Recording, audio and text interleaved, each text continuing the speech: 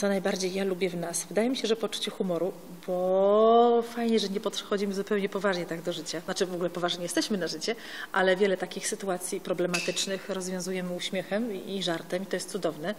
Co ja cenię w tobie, to może od tego zacznę, a ty sobie pomyślisz, jeżeli to jest jakoś trudne do, do odgadnięcia, ale to, co już nawet podczas tego programu tu odkryłam, to jest niezwykły hart ducha, odwaga mojego męża, opiekuńczość, e, nie robienie, y, jak teraz młodzież mówi, dramy, y, sytuacji, gdzie właściwie powinno się coś wydarzyć, na przykład kiedy coś mi się omsknie, jak jakaś pomyłka, to Ika natychmiast ciągnie mnie za uszy do góry.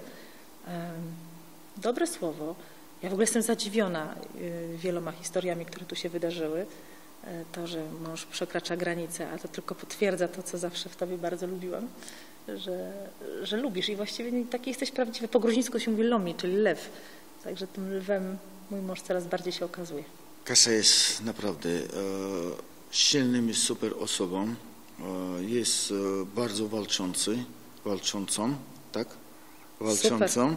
I e, to mnie bardzo podoba mi się, że coś powiem, mamy jakiś cel, że zawsze muszę wykonać ten cel. I Kasia jest taka, że idziemy do końca.